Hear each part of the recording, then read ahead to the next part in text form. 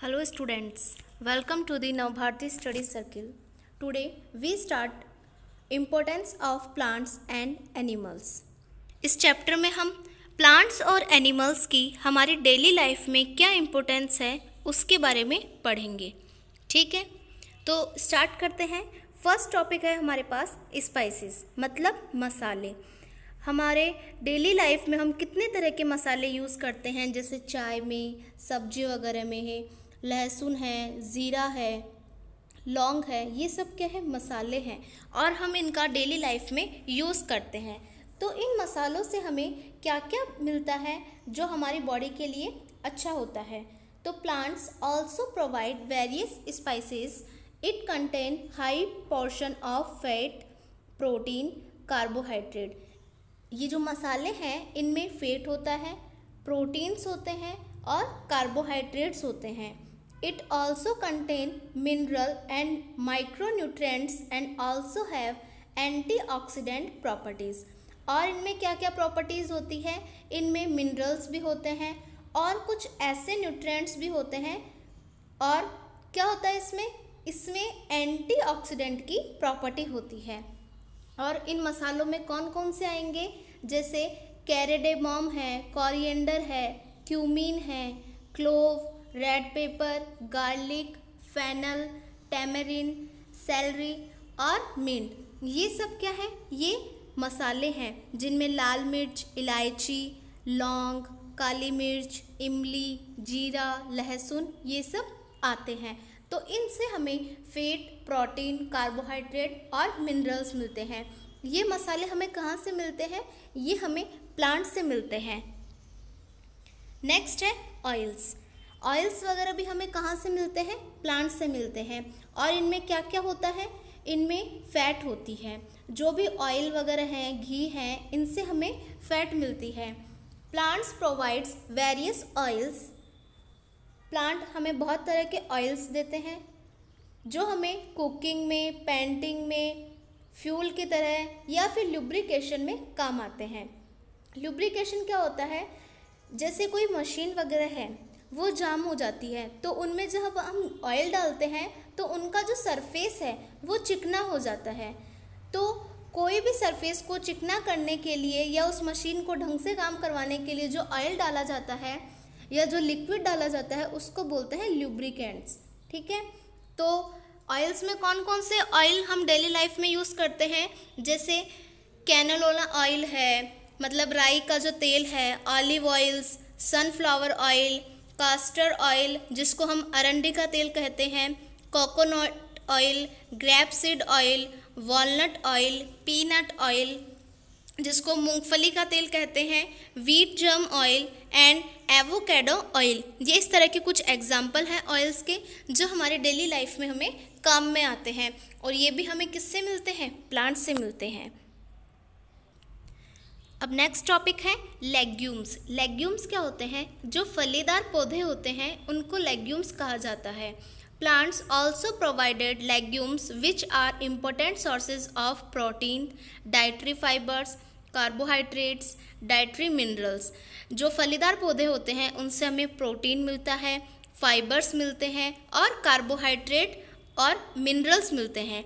ठीक है? तो ये भी हमारे बॉडी के लिए बहुत ज़रूरी होते हैं, क्योंकि हमें ये इतने सारे न्यूट्रिएंट्स देते हैं। जैसे इनके एग्जांपल है किडनी बीन्स किडनी बीन्स को क्या बोलते हैं? जैसे मोठ या राजमा है, उनको किडनी बीन्स कहा जाता है। फिर है, लाइमा बीन्स जो फलीदार पौधे हैं या जो फलियाँ हैं, उनको लाइमा बीन्स कहा जाता है। फिर नेक्स्ट दे रखा है, मूंग बीन्स मूंग की दाल ब्लैक ग्राम्स काले चने broad beans field beans rice bean, ये कुछ जो फलीदार पौधे हैं, उनके एग्ज़ाम्पल हैं। तो याद रखना, इनसे हमें क्या मिलता है? प्रोटीन मिनरल कार्बोहाइड्रेट और फाइबर्स नेक्स्ट है हमारे पास फ्रूट्स आपको पता है कि प्लांट से हमें क्या मिलते हैं? फ्रूट्स भी मिलते हैं, जिनमें क्या होता है? फाइबर होता है विटामिन सी होता है और वाटर होता है। Fruits are commercially valuable as human food eaten both fresh and marmalade manufacture fruits cakes ice cream muffins fruit juices beverages manufacturing इसका मतलब है फ्रूट्स जो है वो काफ़ी तरह से काम में आते हैं। या तो आप उनका जैम बना के खा सकते हो, या फिर आप उनको फ़ूड की तरह खा सकते हो, या फिर जूस की तरह उनको यूज़ कर सकते हो, उनकी आइसक्रीम या केक्स बना के खा सकते हो। तो इनसे याद रखना फ्रूट्स जो हैं, उनसे हमें फाइबर्स मिलते हैं, विटामिन सी मिलता है और वाटर मिलता है। नेक्स्ट टॉपिक है हमारे पास वेजिटेबल्स। वेजिटेबल्स भी हमें प्लांट से मिलती हैं। Plants provide us various vegetables. Vegetables are important sources of nutrients potassium, dietary fibres, folic acids, vitamin A and vitamin C. जैसे गाजर है, उससे हमें क्या मिलेगा? विटामिन ए मिलेगा। और जो खट्टे फल होते हैं, उनसे हमें क्या मिलता है? विटामिन सी जैसे मिर्च है, मिर्च से भी हमें क्या मिलता है? विटामिन सी मिलता है।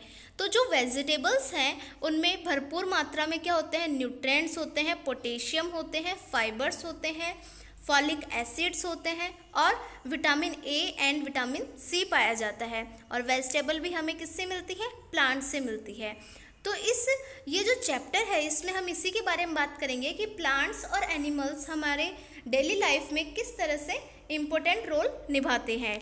नेक्स्ट है diet dried fruits dry fruits को कहा, क्या कहा जाता है? सूखे मेवे या सूखे फल, जिसमें फ़र्स्ट दे रखा है एग्ज़ाम्पल एप्रिकोट्स एप्रिकोट्स क्या होते हैं? खुबानी.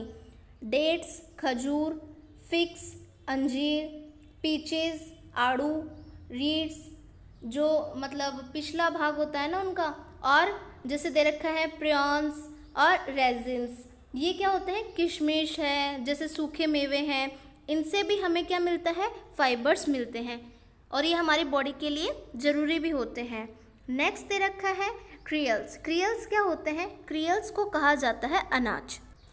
Cereals are the important sources of plant food for human and live they contain high percentage of carbohydrate fat and protein ये ह्यूमन के भी काम आते हैं और जो मवेशी वगैरह है, पशुधन जो है, उनके भी काम में आते हैं। और जो सील्स हैं, अनाज हैं, उनसे हमें क्या मिलता है? Carbohydrate fat protein these are the important cereals wheat maize rye rice barley ऑट्स जैसे हैं मक्का, जौ, राई, जई, अनाज, ये सब क्या है? इनसे हमें कार्बोहाइड्रेट फैट और प्रोटीन्स मिलते हैं। नेक्स्ट है नेचुरल कॉलोरेंट नेचुरल कॉलोरेंट क्या होते हैं? ऐसे नेचुरल ऑब्जेक्ट्स जिनसे कलर दिया जाता है, या डाई ठीक है? तो इनसे क्या होता है? जो भी मतलब जैसे कपड़े हैं, उनको रंग करने के लिए इनका यूज़ किया जाता है। Plants also sources of the natural dyes जो नेचुरल डाइज हैं, उनका यूज़ किया जाता है। और ये हमें कहाँ से मिलती है? ये हमें प्लांट से मिलती है। From the ancient time, natural dye for use for coloration of various substrates इसमें कहा गया है कि जैसे पुराने ज़माने में इन्हीं नेचुरल कलरेंट का यूज़ डाई की तरह किया जाता था कपड़ों को रंगने में। Natural colourant obtained from different sources of plant such as और ये जो नेचुरल कॉलोरेंट है, ये हमें कहाँ से मिलते हैं? ये रूट से भी मिल सकते हैं लीव्स से भी मिल सकते हैं बार्क तने से भी मिल सकते हैं फ्लावर्स से भी मिल सकते हैं और बीजों से भी मिल सकते हैं। They provide various colour which use for coloration और इनमें अलग अलग तरह के हमें कलर मिलते हैं। For textile industry and other industry जो किस काम में आते हैं? जो टेक्सटाइल इंडस्ट्री है या जो कपड़ों को रंगने की इंडस्ट्री है, उनमें ये काम में आते हैं। दे आर इको फ्रेंडली सबसे मेन बात क्या है? ये इको फ्रेंडली हमें नेचर से मिल रहा है, इसलिए इनमें कोई भी नुकसानदेह केमिकल नहीं होते हैं। नॉन टॉक्सिक एंड बायोडिग्रेबल और इनमें कोई भी ऐसा केमिकल नहीं होता है जो टॉक्सिक हो, हानिकारक हो। और ये बायोडिग्रेबल भी होते हैं। तो नेक्स्ट है हमारे पास परफ्यूम परफ्यूम जो है, वो किस किस से मिलकर बने होते हैं? ये कुछ ऐसे मतलब स्मेल वाले फ्लावर्स होते हैं, जिनमें अच्छी स्मेल आती है। उनके जो लीव्स हैं, उनसे उनसे रस निकाल के परफ्यूम बनाया जाता है। तो ये परफ्यूम जो है, उनको बनाने के लिए भी हम किस पे डिपेंड है? प्लांट्स पे. Oil obtained from the different parts use for making perfumes और इनमें बहुत सारे तरह के ऑयल भी यूज़ किए जाते हैं परफ्यूम को बनाने में। जैसे कुछ एग्ज़ाम्पल दे रखे हैं। Rosa damascena jasmine mimosa orange oil और ट्यूबर रॉयस फ्लावर और रोजमरी इन सबसे क्या बनाया जाता है? परफ्यूम बनाया जाता है। ये प्लांट्स के नाम हैं, जिनसे ऑयल के थ्रू या फिर इनकी जो लीव्स हैं, उनके थ्रू परफ्यूम बनाया जाता है।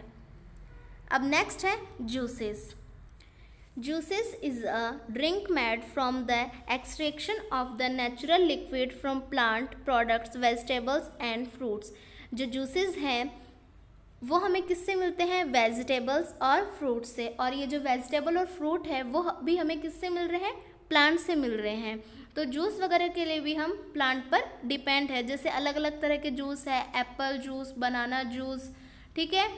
पाइन जूस पपाया जूस इन सबसे हमें क्या मिलता है? इनमें विटामिन्स होते हैं फॉलिक एसिड होते हैं मिनरल्स होते हैं और फैट होते हैं।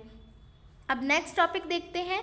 नेक्स्ट है medicines in the different parts of plants like stem root leaf flower and fruits the chemicals of medical use are present जो अलग अलग पार्ट्स होते हैं प्लांट के, चाहे वो रूट हो स्टेम हो लीफ हो फ्रूट हो, उनमें कुछ ऐसे केमिकल्स भी होते हैं जो मेडिकल पर्पस की तरह यूज़ किए जाते हैं। So they are use for medical purpose also so some man medical plants are as follows यहाँ पे कुछ एग्जाम्पल्स दे रखे हैं उन प्लांट्स के, जिनको मेडिसिन की तरह यूज़ किया जाता है।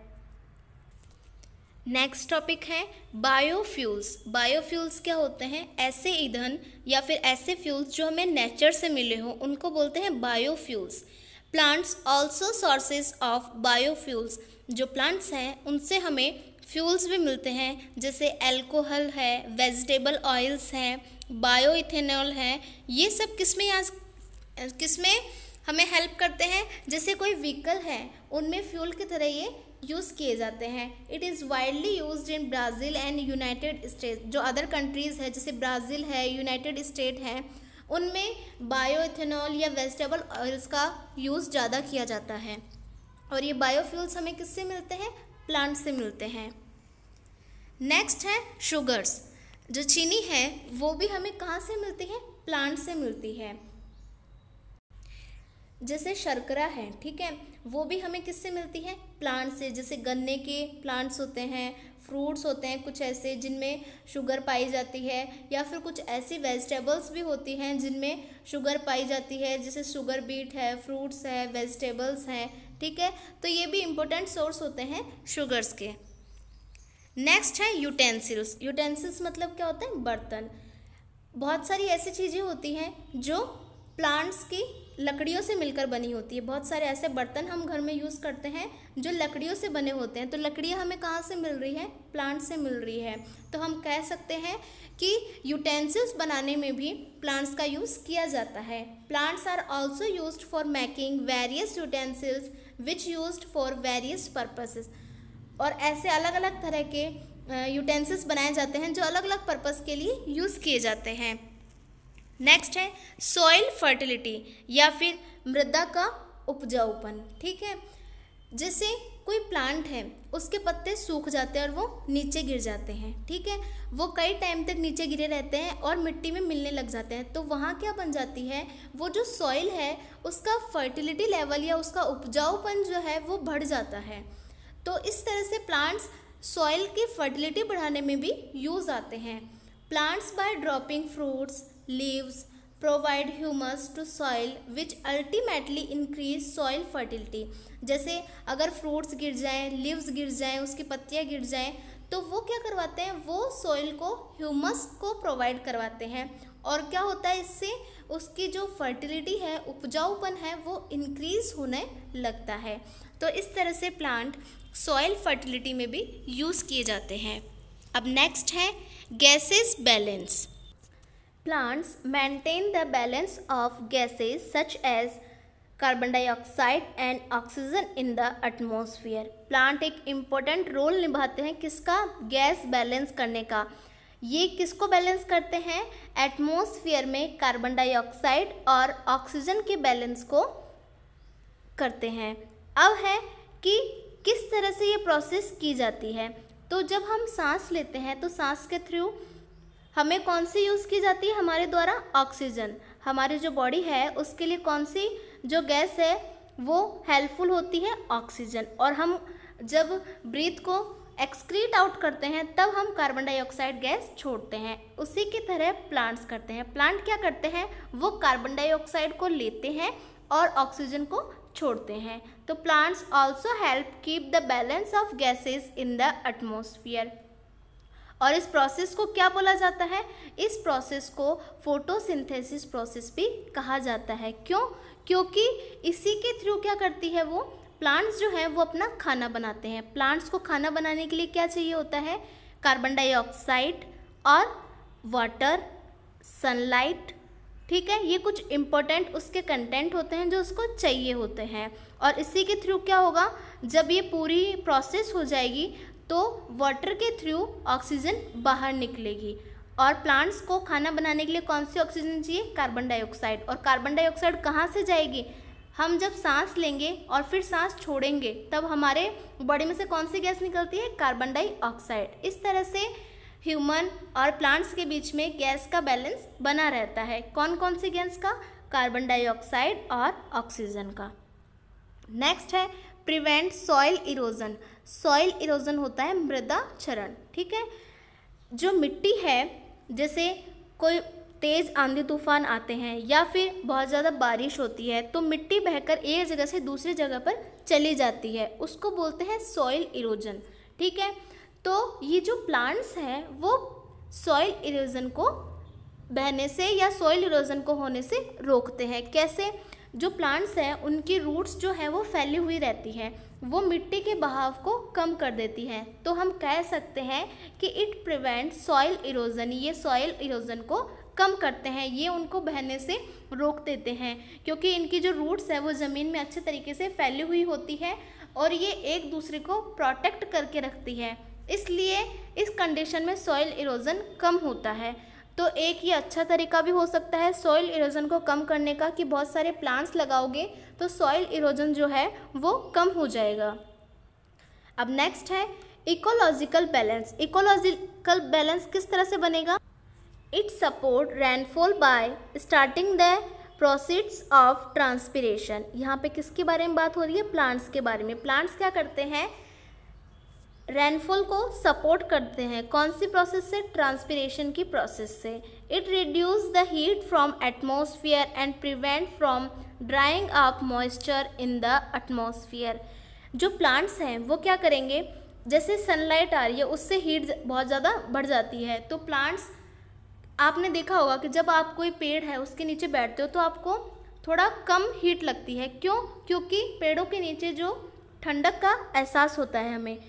तो ये क्या कर रहे हैं? ये इकोलॉजिकल बैलेंस बना रहे हैं। अगर बहुत ज़्यादा हीट हो रही है तो उसको बैलेंस करते हैं, उसको रिड्यूस कर देते हैं, कम कर देते हैं और क्या करते हैं? मॉइस्चर को इंक्रीज कर देते हैं। तो इस तरह से वो इकोलॉजिकल बैलेंस बनाते हैं।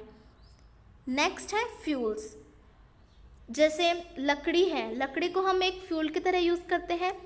हम लकड़ी पर लकड़ियों को जला के पानी गर्म करते हैं। तो एक तरह से इसका यूज़ क्या हो गया? फ्यूल की तरह यूज़ हो गया। तो plants also use as a fuel in various industries and in homes बहुत सारी इंडस्ट्रीज़ होती है जिनमें जो प्लांट से फ्यूल मिलता है, उनका यूज़ किया जाता है और हम घरों में भी फ्यूल का यूज़ करते हैं। नेक्स्ट है फोडर फोडर क्या होता है?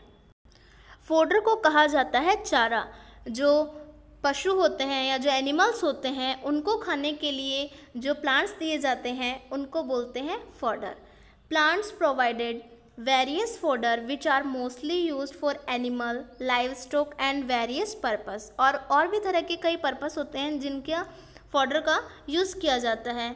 जैसे एग्रोसीड्स पोआ लॉयम स्टीपा ये कुछ एग्ज़ाम्पल दे रखे हैं फॉडर्स के, जो एनिमल्स का यूज़ किया जाता है। अब नेक्स्ट टॉपिक है हमारे पास रबड़। रबड़ का यूज़ कहाँ किया जाता है? जैसे आपने देखा होगा, रबड़ बैंड है या फिर जो जोमेट्री बॉक्स आता है, उसमें जो हम रबड़ यूज़ करते हैं, वो रबड़ है। तो ये क्या होते हैं? कुछ नेचुरल रबर भी होते हैं और कुछ सिंथेटिक रबर भी होते हैं। नेचुरल रबर कौन से होंगे? जो हमें नेचर से मिलते हैं। तो natural rubber consist of polymers of the organic isoprene जो नेचुरल रबर होते हैं वो पॉलीमर से बनते हैं। पॉलीमर कौन सा? Isoprene with minor impurities of organic acid and water और इसमें क्या मिला होता है? बहुत ही कम क्वांटिटी में इम्प्योरिटी होती है किसकी? ऑर्गेनिक एसिड और वाटर की। Major rubber producing plant is para rubber tree इनमें कुछ ऐसे प्लांट्स हैं जिनसे बहुत ज़्यादा रबर निकाला जाता है। उनमें है para rubber tree Congo dandelion milk lettuce, ficus elastica, castilla elastica, ये जो रबर के प्लांट्स हैं, उनके नाम दे रखे हैं। अब नेक्स्ट टॉपिक है हमारे पास टिम्बर टिम्बर क्या होता है? Commercial useful wood are called timber जैसे लकड़ी है, उनका यूज़ कमर्शियल रूप से किया जाता है तो उनको हम नाम देते हैं timber timber used for different purpose such as timber का यूज़ बहुत सारी चीज़ों के लिए किया जाता है, जैसे बोट या शिप बनाने में, कार्ड्स और कैरिजेस बनाने में, फर्नीचर बनाने में। तो इस तरह लकड़ी का जो यूज़ है, वो कमर्शियल तरीके से हो रहा है, व्यापार की तरह हो रहा है तो उसको नाम देते हैं टिम्बर। जैसे इसके एग्ज़ाम्पल दे रखे हैं कि ये किस किस पर्पज़ में काम आते हैं। मैच बॉक्स बनाने में बॉक्स बनाने में पेंसिल्स बनाने में पिक्चर फ्रेम जो हम घरों में फ्रेम रखते हैं, उनको बनाने में रेलवे कैरीज बनाने में राइफल पार्ट्स में, शटल्स में, वैगन बिल्डिंग्स में स्पोर्ट्स गुड्स, जो स्पोर्ट्स के सामान होते हैं, जैसे बैट है, इनको बनाने में, टॉयज़ बनाने में, बहुत सारे ऐसी चीज़ें हैं जिनको, जिनका लकड़ी से बनती है और इनका यूज़ टिम्बर की तरह किया जाता है मतलब कमर्शियल यूज़ किया जाता है। नेक्स्ट है ल्यूम्बर ल्यूम्बर किसे कहा जाता है? जो काठ की चीज़ें होती है मतलब जो लकड़ी की चीज़ें होती है, जिनसे बहुत सुंदर तरीके से हम कुछ सजावटी सामान या कोई सजावटी चीज़ बना सकते हैं, उनको बोला जाता है lumber timber that is use for building purpose जैसे हमने टिम्बर का यूज़ किसके लिए किया? बिल्डिंग पर्पज़ से किया, कुछ बनाने के लिए क्या घर की तरह तो उसको बोलेंगे हम ल्यूम्बर जैसे इस पिक्चर में दिखा रखा है, लकड़ियों का यूज़ करके एक सुंदर सा घर बना रखा है तो इस घर को हम क्या बोलेंगे? ल्यूम्बर जब लकड़ियों का यूज़ कोई बिल्डिंग पर्पस के लिए किया जाता है तो उसको हम नाम देते हैं ल्यूम्बर नेक्स्ट है शेड एंड शेल्टर जो प्लांट्स हैं, उनका यूज़ शेड और शेल्टर में भी किया जाता है। शेड मतलब छाया और शेल्टर मतलब रहने का स्थान. तो plants provide shades for pedestrians and travellers जो पदयात्री होते हैं, जो पैदल चलते रहते हैं, उनको बहुत ज़्यादा धूप लगती है तो कई बार हम क्या करते हैं, पेड़ों के नीचे खड़े हो जाते हैं। तो पेड़ हमें क्या देते हैं? छाया देते हैं। ठीक है? फिर दे रखा है plants also provide shelter for stray animals from scorching heat wind rain ठीक है? इसमें कहा गया है कि प्लांट्स जो है, वो एक शेल्टर की तरह या एक घर की तरह भी काम करते हैं। कैसे?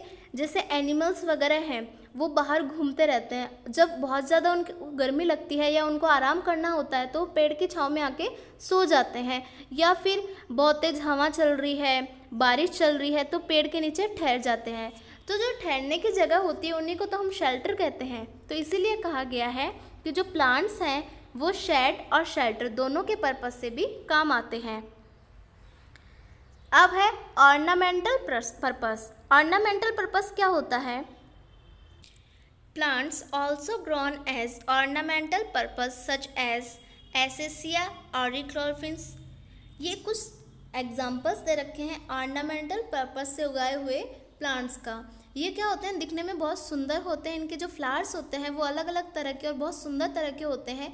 तो इनको सजावटी तरीके से भी यूज़ किया जाता है कि सजावट के लिए इनको उगाया जाता है। नेक्स्ट है resins plants produces resins which are secreted from resins ducts resin duct present in leaves stem and bark resins क्या होते हैं? ये चिपचिपा गोंद जैसा लिक्विड होता है, ठीक है? जो हमें किससे मिलता है? रेजिन डक्ट से होता है। प्लांट्स में बहुत सारी डक्ट्स होती हैं। उनके थ्रू ये लिक्विड निकलता है और ये लीव्स में हो सकता है स्टेम्स में हो सकता है या बार्क से हो सकता है। Resins use for the preparation of following things जो रेजिन्स हैं, वो किस किस काम में आता है? मेडिसिन के पर्पज़ से भी उसको यूज़ किया जाता है परफ्यूम भी बनाए जाते हैं प्लास्टिक्स भी बनाए जाते हैं और जो प्रिंटर इंक्स होती है प्रिंटिंग मशीन में जो इंक काम में आती है, उसको भी बनाया जाता है। जैसे ऑयल क्लोथ है लिनोनियम है। प्रिपरेशन ऑफ़ फिक्सेटिव्स है, इंसेंसेस है, सीलिंग वैक्स है। इनको बनाने में भी रेजिन्स का यूज़ किया जाता है। आपने कई तरह के गोंद देखे होंगे जो मिठाई वगैरह में भी डालते हैं, जिनसे लड्डू भी बनाए जाते हैं। तो ये सब हमें किससे मिलते हैं? ये भी हमें प्लांट से मिलते हैं। नेक्स्ट है wax. Plants also provide wax which is use for making following things candle ceroxylon alpinum copernicia cerifera ये कुछ वैक्स के टाइप्स दे रखे हैं, उनके एग्जाम्पल्स दे रखे हैं। बहुत सारी जो वैक्सेस हैं, वो हमें नेचर से ही मिलती है प्लांट से ही मिलती है, जिनका हम यूज़ करते हैं। तो ये कुछ एग्जाम्पल्स थे कि प्लांट्स हमारे लिए क्यों ज़रूरी है, और ये कहाँ कहाँ हमें काम में आते हैं। नेक्स्ट है fungicides fungicides I biological chemical compounds जो फंगीसाइड्स होते हैं मतलब ये कवकनाशी होते हैं, जो फंगस हैं, उनको नष्ट कर देते हैं, उनको बोलते हैं फंगीसाइड। जैसे आपने देखा होगा, जो खेत वगैरह में काम करते हैं, वो क्या करते हैं, अपने जो पौधे हैं या फ़सल है, उनको बचाने के लिए उनमें कुछ केमिकल्स का छिड़काव कर देते हैं। वो नेचुरल भी हो सकते हैं और सिंथेटिक भी हो सकते हैं। तो फंगीसाइड भी उसी तरह के कुछ कंपाउंड्स होते हैं, जो किसके काम में आते हैं, जो फंगस को किल करने में या उनको मारने में काम आते हैं। Plants produces such chemical which are can be use as fungicides जैसे टी ट्रील ऑयल है निम्बिन है सिट्रोनला ऑयल है ऑर्गेनो ऑयल है मोनोसरीन है, ये कुछ एग्ज़ाम्पल है फंगीसाइड्स के मतलब फंगस को मारने के। नेक्स्ट है bio pesticides Biopesticide is a formulation made from natural occurring substance in plants. ये हमें नेचर से ही मिलते हैं। They are non toxic and eco friendly ये जहरीले नहीं होते और इको फ्रेंडली होते हैं। Use to control pest and fungal pathogens और इनका यूज़ किस लिए किया जाता है? इनका यूज़ फ़सलों में छिड़काव करने के लिए किया जाता है ताकि उन पर कोई कीट या कोई भी बैक्टीरिया वगैरह ना लगे। और ये सबसे मेन बात याद रखना, ये नॉन टॉक्सिक होते हैं, ये फ़सलों को नुकसान नहीं पहुंचाते हैं। बायो पेस्टिसाइड्स नेक्स्ट है फाइबर्स आपने सुना होगा, जैसे कॉटन है, वो क्या है? फाइबर है। तो बहुत सारे ऐसे फाइबर हैं, जो हमें नेचर से मिलते हैं मतलब प्लांट से मिलते हैं या एनिमल से मिलते हैं। तो उनको हम कहते हैं natural fibres Plants provide fibers which are used for manufacturing clothes, ropes, mattings. और ये जो फाइबर्स हैं जो हमें प्लांट से एनिमल के थ्रू मिल रहे हैं उनसे हम क्या क्या बना सकते हैं? उनसे हम क्लोथ्स बना सकते हैं रोप्स रस्सियाँ बना सकते हैं जो चटाई वगैरह हैं वो बना सकते हैं। और काफ़ी इनका यूज़ होता है जैसे बैग वगैरह बना लेते हैं कोई मेज पोश बना लेते हैं। तो इस तरह से जो फाइबर्स हैं उनके बहुत सारे यूज़ होते हैं। Following plants which are provide fibres यहाँ पे कुछ प्लांट्स के नाम दे रखे हैं जिनसे हमें फाइबर्स मिलते हैं। नेक्स्ट है सोर्सेज ऑफ़ ऑक्सीजन ये सबसे मेन पॉइंट है। जो प्लांट्स हैं, वो सबसे बड़ा सोर्स होता है ऑक्सीजन का। हमें सबसे ज़्यादा ऑक्सीजन किससे मिलती है? प्लांट्स के थ्रू मिलती है। Human consume 550 litre oxygen per day जो ह्यूमन है, वो एक दिन में 550 लीटर ऑक्सीजन को कंज्यूम कर लेता है। A hundred feet tree 18 diameter its base produces 6000 pounds of oxygen अगर कोई पेड़ है, वो 100 फीट लंबा है और उसका जो डायमीटर है, उसका बेस का जो डायमीटर है, उसका जो व्यास है, अगर वो 18 है तो वो कितने पाउंड ऑक्सीजन को जनरेट करेगा? वो प्रोड्यूस करेगा 6000 पाउंड ऑफ़ ऑक्सीजन ये कुछ फैक्ट्स हैं प्लांट्स के बारे में। On average one tree produces nearly 260 pounds of oxygen each year एक जो नॉर्मल प्लांट होता है, वो एक साल में 260 पाउंड ऑक्सीजन को प्रोड्यूस करता है। तो आज की क्लास में हमने प्लांट्स की इम्पोर्टेंस के बारे में जाना। नेक्स्ट क्लास में हम एनिमल्स के इम्पोर्टेंस के बारे में बात करेंगे। तो thank you have a nice day